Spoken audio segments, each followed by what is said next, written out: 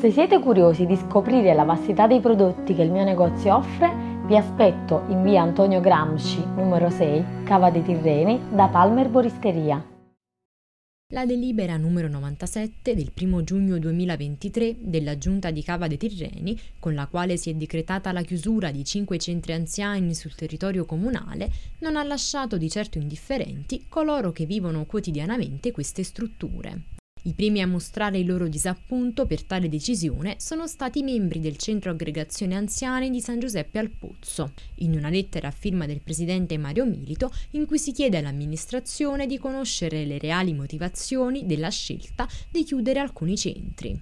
Tale ridimensionamento dovrebbe rientrare nell'ambito del piano di riequilibrio finanziario pluriennale che ha l'obiettivo di abbattere le spese per un importo non inferiore al 50% rispetto al passato. Ad alimentare maggiormente la questione è anche il fatto che il Consiglio Comunale non sia stato informato della cosa. Una procedura questa discutibile, si legge nella missiva, anche se in materia di costituzione dei centri è la Giunta a decidere, come recita la relativa delibera.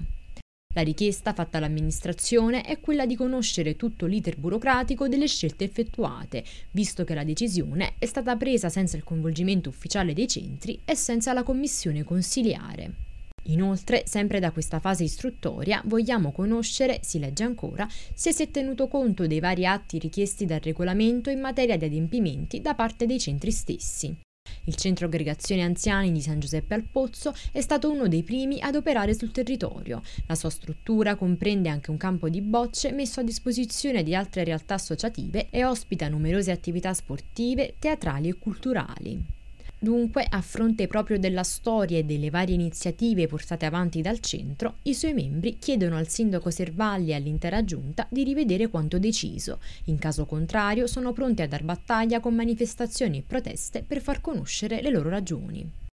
Non abbiamo chiuso i centri anziani, ma abbiamo provato a razionalizzare un po' perché nel corso degli anni il numero di centri anziani è cresciuto molto, fino a diventare 15 o 16, con tutta una serie di conseguenze che questo comporta, perché per i nostri regolamenti il centro anziani è sostenuto dall'amministrazione con tutti i costi, tutte le spese, l'energia elettrica, eccetera, eccetera, un contributo. Allora noi ci siamo resi conto intanto che alcuni centri anziani erano veramente già, ehm, già non si svolgeva una grande attività al loro interno o per un numero molto ridotto di anziani. Allora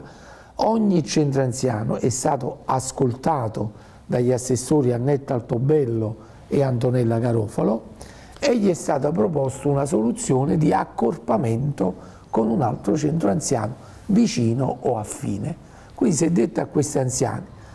riunitevi con l'altro centro anziano che sta lì in quella strada, in quel luogo, partecipate insieme a loro a tutte le attività e questo ci consente a noi, diciamo così, di essere più efficienti, più efficaci e se dobbiamo dare una mano, darla anche come si deve.